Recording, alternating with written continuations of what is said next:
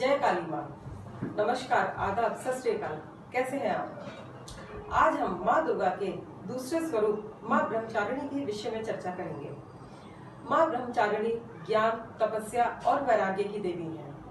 इनकी पूजा से छात्रों और साधकों को विशेष लाभ होता है। यह हमारे चंद्र बल को भी बढ़ाती है। हमारे चेहरे पर जो तेज होता है, जो चमक होती है हमारे आभा मंडल की जो चमक होती है, वो भी इन्हीं की कृपा से होती है, दोस्तों। इनके एक हाथ में चंदन की माला है तो दूसरे हाथ में कमंडल है। जब हम माला का जाप करते हैं, दोस्तों तो हम उसको कभी भी बीच में नहीं छोड़ते। हमेशा हम उसको पूरा ही करके छोड़ते हैं। इससे हमारी कंसिस्टेंसी हमारे कंटिन्यूस एफर्ट्स का पता चलता है। यानी कि किसी भी कार्य में सफलता पाने के लिए हमें उस पर कंटिन्यूसली काम करना पड़ेगा। और कमंडल, दोस्तों हमारे एक्सेप्टेंस को शो करता है।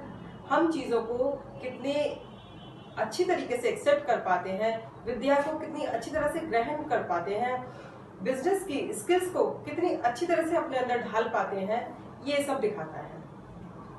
माँ ब्रह्मचारिणी की पूजा के लिए, उनको प्रसन्न करने के लिए दोस्तों, पीले या सफ़ेद वस्त्र पहने और उनको भोग में सफ़ेद चीज़, यानी कि शक्कर या मिश्री का भोग आप लगा सकते हैं।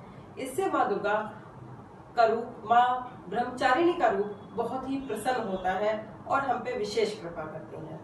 इसके लिए दोस्तों, आप स्क्रीन पर फ्लैश हो रहे मंत्र का भी जाप करें तो आपकी पूजा में और ज़्यादा चार चाँद लग जाएँगे। आपको इसका फल और ज़्यादा चौगुना होकर मिलेगा। माँ ब्रह्मचारिणी का सीधा संबंध हमारे स्वादिष्ठान चक्र से है। स्वादिष्ठान चक्र हमारे सेवन मेजर चक्रास में से दूसरे नंबर का चक्र है। यह नाभि से तीन उंगल नीचे स्थित है।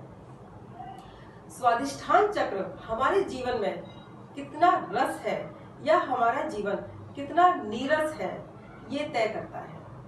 हमारे जीवन के सारे रस इससे जुड़े हैं, सारे मज़े इससे जुड़े हैं। अगर कोई कहता है, यार लाइफ में मज़ा ही नहीं आ रहा, कोई रस ही नहीं रहा, जीने की कोई वजह ही नहीं रही कि, किसी भी काम में अच्छा ही नहीं लगता। इसका मतलब दोस्तों आपका स्वादिष्ठान चक्र कहीं ना कहीं बहुत बुरी तरह से डिस्टर्ब है अनबैलेंस्ड है। हमारे अष्ट लक्ष्मी जो हमारा सौभाग्य है वो भी हम इसी चक्र के माध्यम से प्राप्त कर सकते हैं दोस्तों।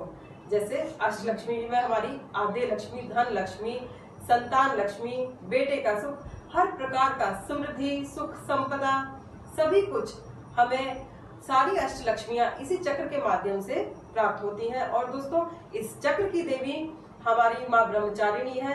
अगर आप माँ ब्रह्मचारिणी को अच्छे से प्रसन्न करते हैं, अच्छे से उनकी पूजा अर्चना करते हैं तो हमारा स्वादिष्ठान चक्र बैलेंस होता है, शुभ होता है और हमें जीवन में ये सारी चीज़ें प्राप्त होने लगती हैं।